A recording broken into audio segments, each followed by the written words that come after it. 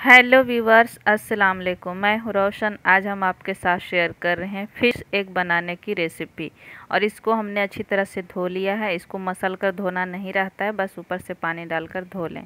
और इसमें हम मसाले यूज़ करने वाले हैं लहसुन और अदरक और प्याज और तीन हरी मिर्च है। इसको हम पेस्ट बना लेते हैं थोड़ा सा पानी डालकर। और इधर फ़िश को हम इस तरीके से अलग कर लेते हैं। एक थाली में हमने धनिया पत्ता भी काट लिया है और फ़िश को हमने रखा हुआ है। हाफ़ टी स्पून हल्दी पाउडर, हाफ़ टी स्पून जीरा, काली मिर्च का पाउडर और ये थ्री चम्मच हम ले रहे हैं बेसन। तो इससे बाइंडिंग अच्छा आता है तो इसलिए हमने बेसन लिया है। और ये जो पेस्ट बनाए हैं, दो चम्मच इसमें हम डाल देते हैं और फिर बाद में मसाले में यूज़ करेंगे। हाफ़ टी स्पून हम इसमें नमक ऐड करते हैं टेस्ट के अकॉर्डिंग नमक डालें। ये 400 ग्राम फ़िश एग हमने लिया है और ये एक मछली का नहीं है अलग अलग मछली का है, इसलिए कलर भी अलग अलग दिख रहा है। तो इस तरीके से हम पूरा मसल रहे हैं। तो बेसन बाइंडिंग के लिए ही डाला जाता है और ज़्यादा बेसन डालने की ज़रूरत नहीं है।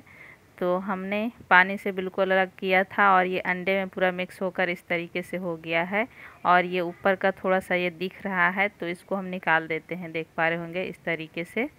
और ये बहुत अच्छा ये पूरा मिक्स हो चुका है।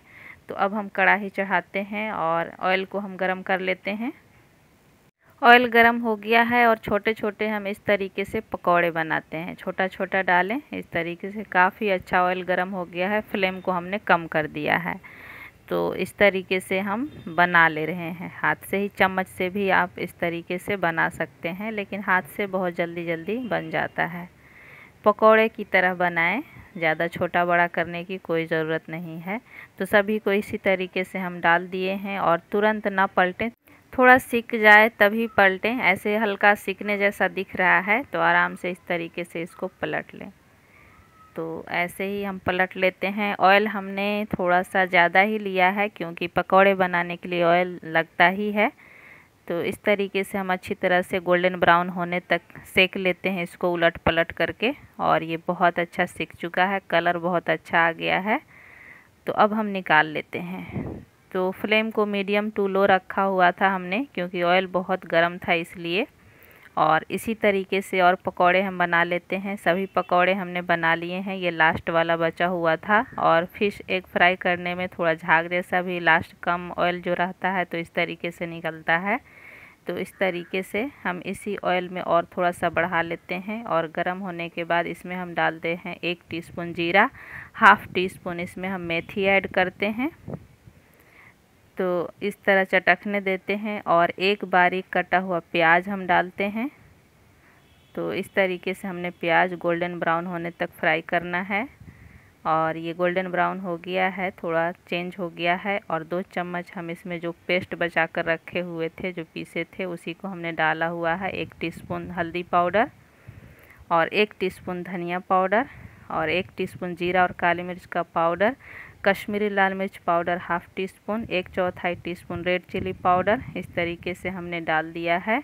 और जो मिक्सी का कटोरी जो है उसमें मसाला लगा हुआ, उसी में हम थोड़ा सा पानी मिलाकर इसी में हम डाल देते हैं। मसाले इसके साथ अच्छी तरह से पक जाएँगे। फ़िश करी जिस तरीके से बनाते हैं, ये भी उसी तरीके से बनता है। तो इसमें हम डाल देते हैं हाफ़ टी स्पून ये राई पाउडर, जो सरसों पाउडर होता है, और एक टमाटर हम इसमें डाल दे रहे हैं, और एक टीस्पून हम इसमें नमक ऐड करते हैं। तो इसको मिक्स करके और इसको हम ढककर पकाएँगे। मसाले के साथ ये भी हमारे अच्छी तरह से गल जाएँगे और पक जाएँगे मसाले भी, और टमाटर देख सकते हैं, काफ़ी अच्छा गल चुका है। और मसाले भी ऐसे लग रहे हैं कि ये भुन चुके हैं। बहुत अच्छे से मसाले भी भुन चुका है, देख सकते हैं। अब हम इसमें डाल देते हैं जो फ़िश के पकौड़े, हमने फ़िश एग के पकौड़े जो बनाए हुए हैं उसको। और इस तरीके से मिक्स करते हैं और पानी इसमें ज़्यादा ऐड करने की ज़रूरत नहीं है।